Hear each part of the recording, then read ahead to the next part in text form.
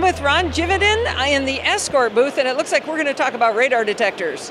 You know what, Allison? It's great that you stopped by because, I don't know, when you're out of Manhattan, all the rest of us drive a car.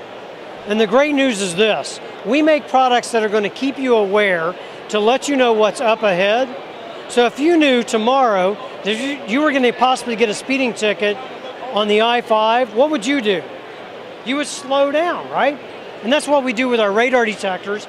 But before that, in 2011, we released the Escort Live social network, the ticket protection app that lets you know where all the red light cameras are, speed cameras, speed traps. It even alerts you when you're over the speed limit. But the best part is this no other app can do this. Connect all of the radar detector alerts from other radar detector users in real time. So, what that means, Allison, is this I'm driving in my car, my detector alerts because she shoots me with a radar gun. The detector alerts me in the cockpit of my car, I slow down. But in the background, the new Bluetooth enabled, connected to the Escort Live Passport Max 2 radar detector now lets everyone else know via the cloud using the app. So now I get shot with radar, but before you get there, you're going to know that I was shot with radar. How wow. cool is that? Wow, that is, that is pretty cool, pretty connected. Uh, by the way, when he's saying this, he's actually talking about an iPhone iOS app he's got running. Does this run on Android as well? Well, it does Android, it does iPhone. It lets you know where the speed limits are, or the speed limit, posted speed limits. So if you're over the speed limit, she's going to alert you. If the speed limit changes, she's going to alert you on your iPhone, iPad, Android devices. Still not yet on Windows, but we're working on it. Well, that's good to hear. I like the idea of knowing the speed limit because I hate it when you're driving, you're like, I don't know what the speed limit even is. You know what? We let you know in the app, but we also will do that in the radar detector as well. This is not showing up here because we're stationary, but if we were connected in the app, showing up in that dark part of the screen, that's the posted speed limit, would actually show up on your radar detector.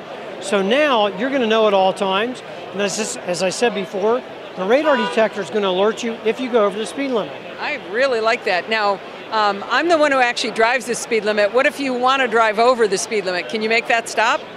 You can tell the app or the radar detector when to alert you for over speed limit alerts 5 over, 10 over, 12, 15, or you may even tell the app or the radar detector, don't bother me, I don't want to know. Can it, can it tell you the secret speed limit that everybody knows the cops actually have? what is that? That's what I'd like to know. So, uh, what radar bands do you detect? We detect all of them. Right now, active are X, K, KA, and laser. The FCC, like other real estate, the bands are all filled up. They're not going to release new bands. Our radar detectors see everything in all the bands for all of North America. The problem we have with our current radar detector is every time we drive by a bank, we get uh, our radar detector goes off. How about yours? You know what? That's a great question. We like to joke about competitor detectors being great Walgreens finders and locators of the bank. You're exactly right. The new Max 2 has digital signal processing, and because it has advanced digital signal processing, it can sort between a real alert and a false alert, a false alert source, just like reading a fingerprint. So no banks are going to show up with this detector. Your neighbor's garage door detect or garage door opener will not show up. Motion sensors, other detectors will alert, not the Passport Max 2. All right. Now, is this a shipping product yet? It is now shipping $599.95. If you want to know more, go to escortradar.com or just Google radar detectors. We're going to show up in the space because we kind of, not arrogantly, but confidently, we own the space. All right. Thank you very much, Ron. I appreciate your time.